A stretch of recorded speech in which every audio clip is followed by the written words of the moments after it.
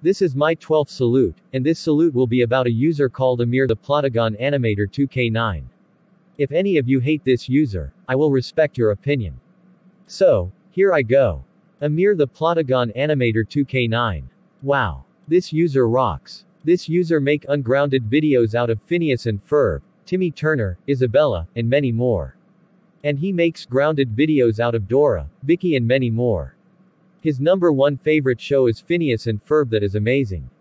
The intro is awesome and the outro is good. I hope this user never gets exterminated. Did you know who likes this user? Me and all of the good users. And did you know who hates this user? All of the bad users. End of salute. My next salute will be Caillou.